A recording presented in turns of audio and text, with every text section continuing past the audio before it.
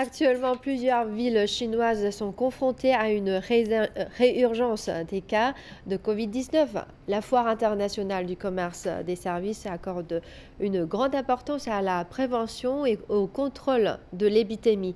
Monsieur Ting, d'après vous, quel est l'impact de la politique zéro Covid sur euh, l'organisation de ce type de grands événements?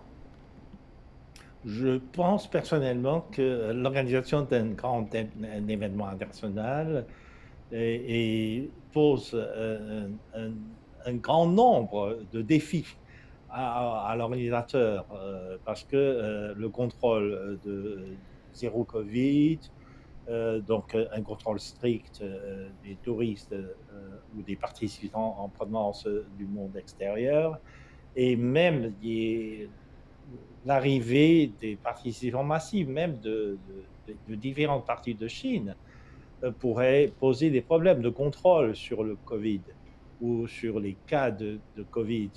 Euh, mais depuis ces derniers temps, euh, la municipalité de Beijing a développé une technique de contrôle et de suivi dans la ville. Et depuis ces derniers temps, ce système de contrôle a montré son efficacité par exemple. On, peut suivre euh, le, développement et la propagation euh, des cas de contamination et puis de contrôler rapidement, de couper la chaîne de transmission et de, de mettre les, suspects en quarantaine. Alors, euh, Monsieur Arst, pour vous, que pensez-vous de la politique zéro Covid? Je pense que pour la Chine, c'est efficace, apparemment.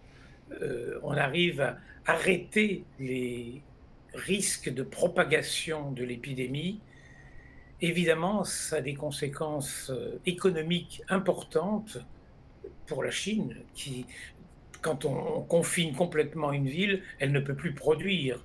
Euh, mmh. donc, il faudra voir comment tout ça évolue. Est-ce que l'épidémie s'apaise et on n'en aura plus besoin de ces contrôles? Où elle reprend et ce sera de temps en temps certaines villes en Chine qui seront contrôlées au maximum à suivre.